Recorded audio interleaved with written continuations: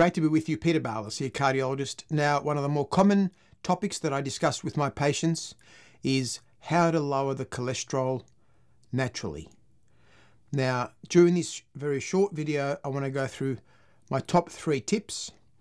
And we're not going to mention the S word, and I'm sure you all know what the S word is, the class of drugs that we often use for cholesterol management.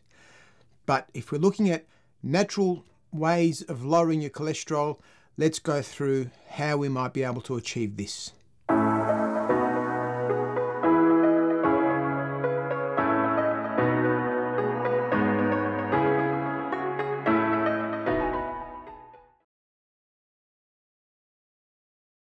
Now, number one, and I've had a short video on this in the past, is fiber. So simple things like adding something like psyllium husks or um, making sure that you've got adequate fiber in your diet is probably a very, very effective way at helping to reduce the absorption of cholesterol through your bowel. It is very good to keep you regular, of course, but having fiber, and that's one thing that I often find with many of my patients, is that fiber is not one of those things that they tend to consider when they're thinking about how to lower cholesterol. It's often their mind goes to, oh, look, we're going to fish oil. But uh, this is a far more effective way at having fibre in your diet. Now, I use a little bit of psyllium husk, uh, a teaspoon of that. Be cautious in how much you use because it can, um, you know, have uh, the effect of causing loose bowel motions.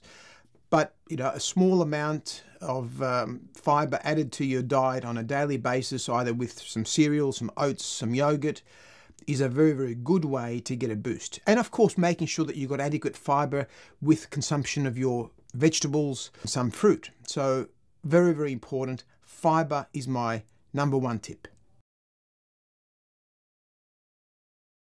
Number two, well, you might have seen some products on the supermarket shelf around where you are called phytosterols. Now, these are plant based natural products that are found in plants and vegetables, nuts, legumes, and these actually help to reduce absorption of cholesterol as well. Now, in Australia, we've got products such as uh, milks, and these are all milks that are fortified and they claim to lower cholesterol, uh, but they do indeed. So the data would suggest that up to 10% reduction in your LDL, your bad cholesterol, by incorporating phytosterols in your diet. Now, that may not be appropriate for everybody with high cholesterol, so always check with your own healthcare professional about um, about uh, the use of any of these supplements. But phytosterols can be useful, and they essentially mimic cholesterol and the, the cell structure of cholesterol. Therefore, they get absorbed rather than actually having cholesterol absorbed from your bowel and therefore reduce your LDL, your bad cholesterol, by up to 10%. So, a very easy way. And again, as I mentioned, they can be found in your, your, your fruit and vegetables, legumes, but you can get them in foods that are fortified and, you know, in particular in milks um, that have the added phytosterols in there that do provide you this benefit. And my third tip is well, when we're looking at optimizing cholesterol, it's not often just lowering your bad cholesterol, but how you might be able to boost your good cholesterol, the HDL. One thing that I find very, very useful is incorporating good oils in your diet. Now, by good oils, uh, one that I prefer is olive oil. So, on a daily basis, I would have a teaspoon of olive oil added to vegetables, to rice, to chicken, to salads, and doing that without cooking it. So, you know, as you cook the olive oil, many of the health benefits are actually denatured and broken down.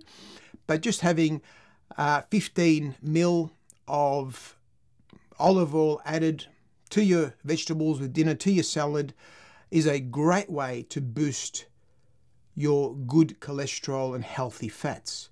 Now, there are things like fish oil.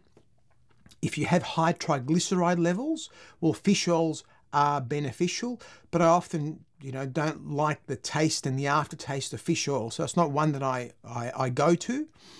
But olive oil is the key one that I incorporate. Another great product is flaxseed oil. Now, flaxseed oil often comes in liquid. and you can find it in the um, refrigerator section in your supermarket. Has a very, very good, healthy amount of omega 3 plus some omega 6 and omega 9, but it's a very great way, a natural plant based way to derive great benefits in terms of optimizing your good cholesterol. Again, with flaxseed oil, you don't cook with it. You can add it to a to your yogurt, to some cereal, and uh, sprinkle a bit of fiber on top, some cinnamon, a little bit of honey. That makes a great nutritious meal for you to have before bedtime. So there you go. They were my top three tips to how to optimize your cholesterol naturally. Number one, fiber.